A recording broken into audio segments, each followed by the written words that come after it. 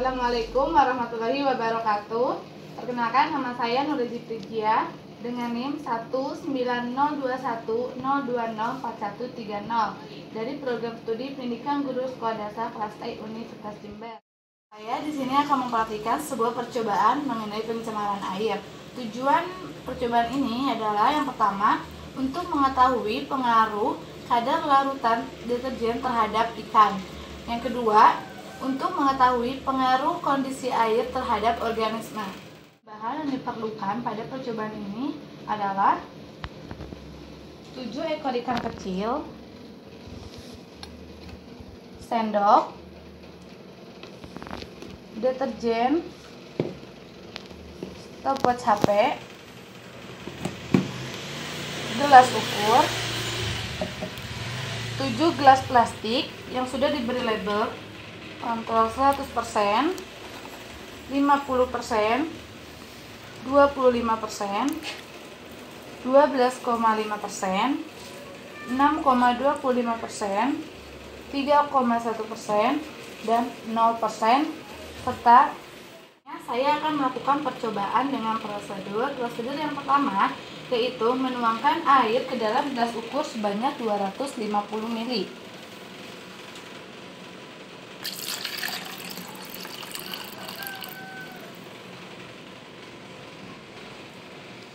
Masukkan air sebanyak 125 ml ke dalam gelas plastik dengan label 0% sebanyak 125 ml.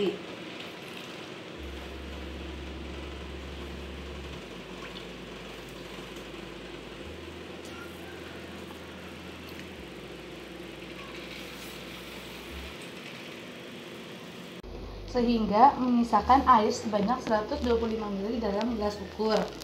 Selanjutnya, Masukkan sejumput atau 1 gram deterjen ke dalam gelas ukur.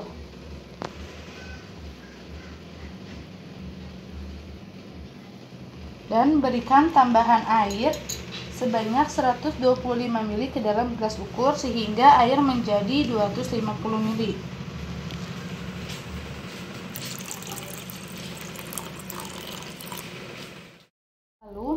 Masukkan air deterjen ke dalam gelas plastik dengan label 100% sebanyak 125 ml.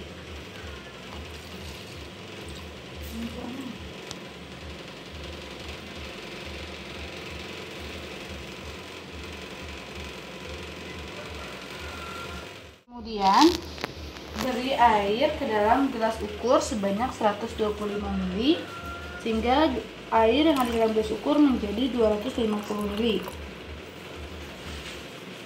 Lalu masukkan ke dalam gelas plastik dengan label 50% sebanyak 125 ml.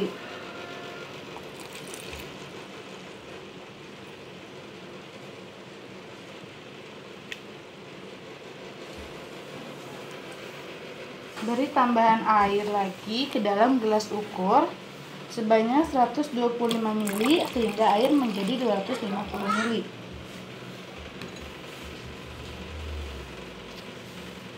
Lalu masukkan ke dalam gelas plastik dengan label 25% sebanyak 125 ml.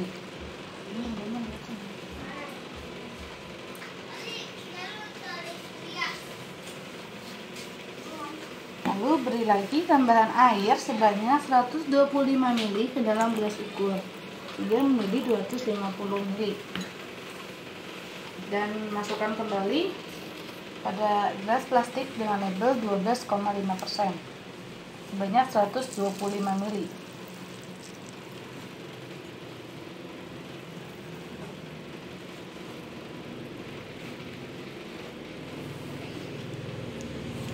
beri tambahan air lagi ke dalam gelas ukur sebanyak 125 ml sehingga akan menjadi 250 ml air dalam gelas ukur dan masukkan kembali ke dalam gelas plastik dengan label 6,25% sebanyak 125 ml.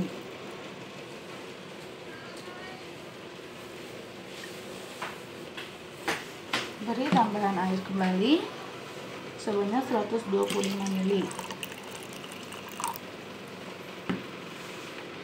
Dan masukkan kembali pada proses dengan label 3,1 persen.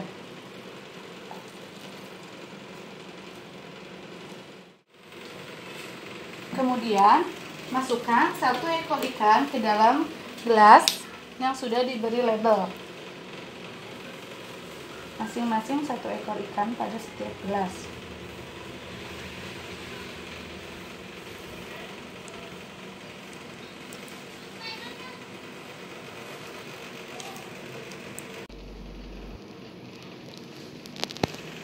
Pertama pada label 0% lalu pada label 3,1%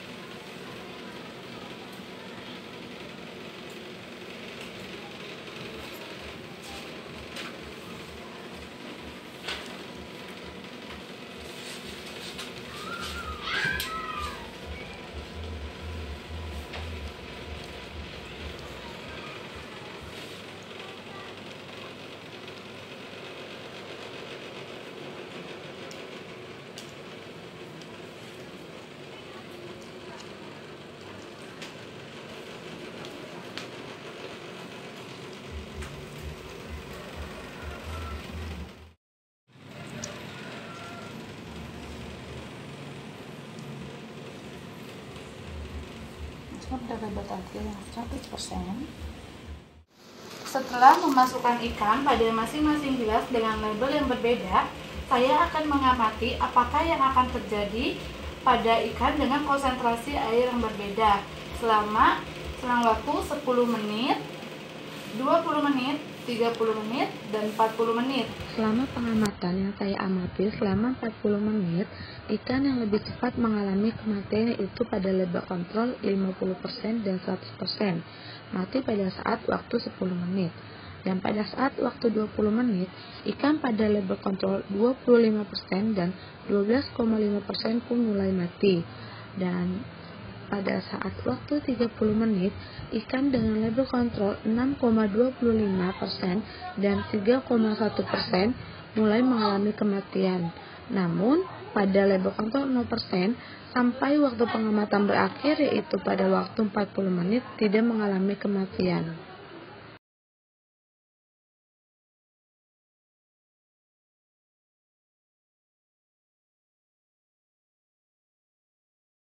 Sekian dan terima kasih. Itulah tadi percobaan yang telah saya lakukan mengenai pencemaran air. Wassalamualaikum warahmatullahi